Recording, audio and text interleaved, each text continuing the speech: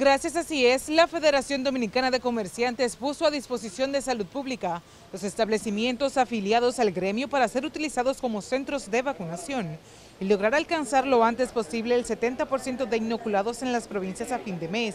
Si queremos permanecer hasta las 2 de la mañana como era antes del COVID, tenemos que vacunarnos y tenemos que mantenernos vigilantes a lo que es el protocolo sanitario. Asimismo, la Federación Nacional de Bares y Restaurantes, uno de los sectores que se ha visto afectados por la pandemia y los horarios del toque de queda, convocó para este 27 de julio a una jornada de vacunación en los establecimientos afiliados al gremio y así acelerar el proceso. En Santiago va a estar, eh, el punto de vacunación va a estar en Futrópolis, así también en San Francisco, Puerto Plata, Constanza y aquí en Santo Domingo, en Ciudad Colonial, eh, vamos a estar funcionando eh, como punto de vacunación varios establecimientos. Aquí, por ejemplo, en Ciudad Colonial vamos a estar en Mamey Café desde las 8 de la mañana hasta las 4 de la tarde. Los centros de vacunación lucen también desolados este día.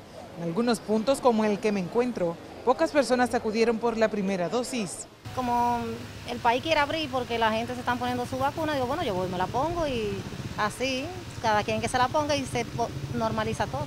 Cuando uno, un ejemplo, le da un dolor de cabeza o se interna, uno no sabe qué le inyectan, o sea que los doctores saben qué inyección están haciendo. El flujo ha minorado un poco, sobre todo la primera dosis.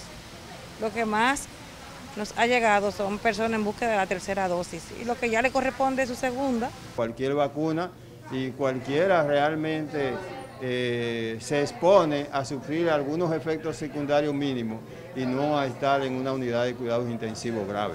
Las provincias que alcancen vacunar con dos dosis al 70% de su población se les eliminará el toque de queda cuando terminen las fases de la desescalada este próximo 21 de julio.